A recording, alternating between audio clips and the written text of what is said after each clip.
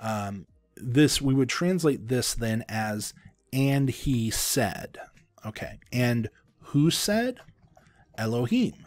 So Elohim was introduced up here. Actually, Elohim was introduced in verse 1.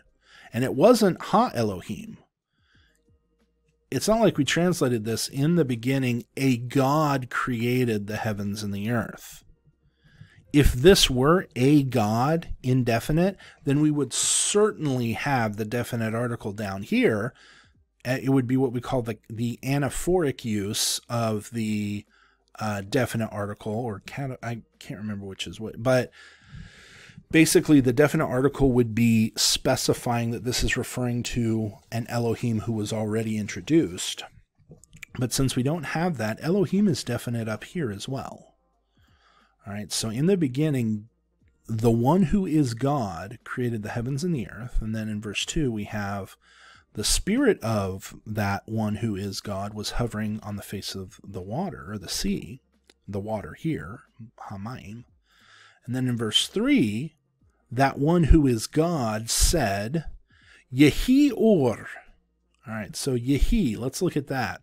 Now, all right, and what this has done is we've got a yod as an imperfect here, um, a yod prefix for imperfect, but it's a particular type of imperfect. It's called a jussive, which is a more um, kind of a combination of, let's say, the imperfect and the imperative.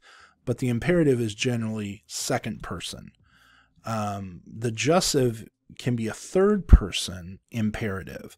And so what that sounds like in English, you know, if we if we want to issue a request or a command or an instruction or a direction in English, we would use the imperative.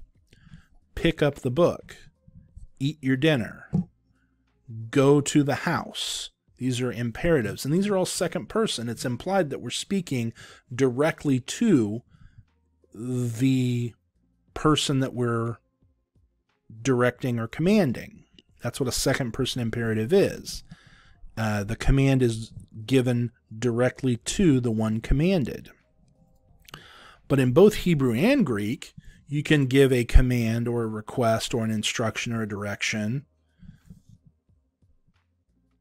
to someone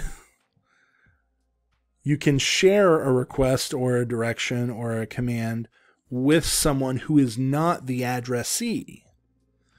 So here, this being a jussive being a third person sort of imperative, God is not addressing the light. If he were addressing the light, we could use the second person imperative here. But this is a third person. So the question might be who is God addressing? Well, he's not addressing the light yet because the light doesn't exist yet. He simply says, Let there be light. Excuse me. Now that's how we translate this. The, the I mean, if we want to literally translate this word, we would translate this word as be He's saying, be light. Okay. Now, what is he, who is he saying this to? Uh, that's one reason why we translate this as let there be light, because there doesn't have to be this sort of um, addressee here. He just says, let there be light. But even in the sentence, let there be light, who is God saying that to?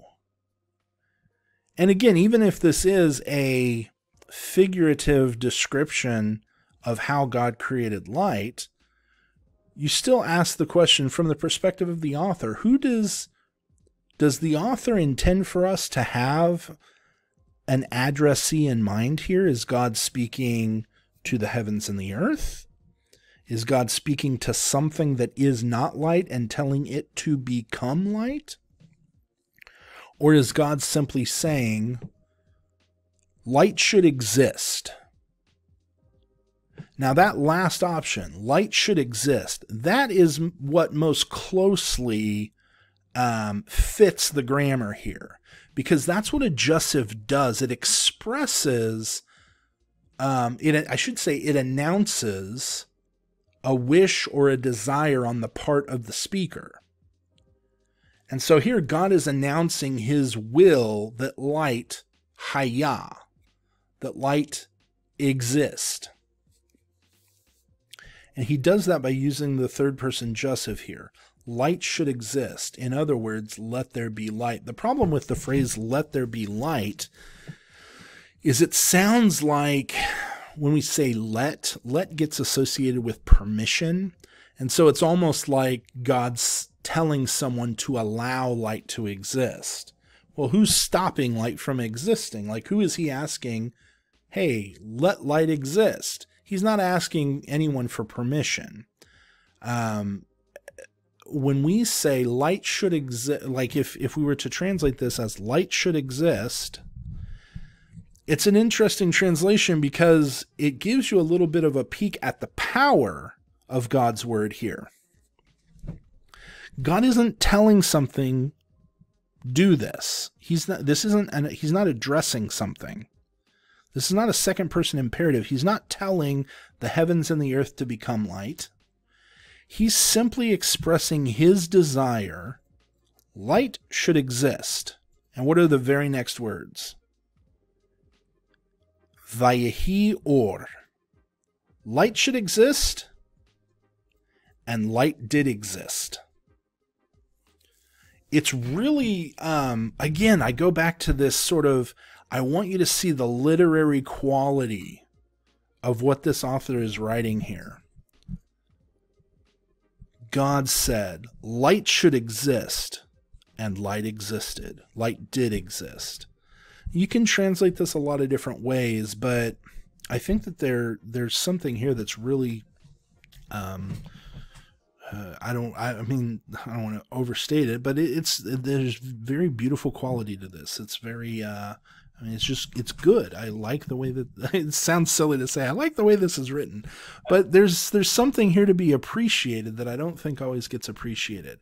God yeah. said light should exist, and light did exist. I mean, it's just that that He said it should happen, and it happened. It, it, uh, when we think of let there be light. We imagine this command ringing through the heavens. I'm not saying that can't be what happened. I'm not saying that that's not a good translation or anything. I'm just saying when we think of it as God ordering something to happen and what he orders, everyone obeys, there's more going on to that. It's not just brute force, it's brute, and brute isn't the right word either. It's not force, it's just how powerful his own will is that it's it's just from his own will this sort of has. so anyways i've gone on long enough about that but I, I i like what's going on here and i think that this often gets overlooked how how interesting this is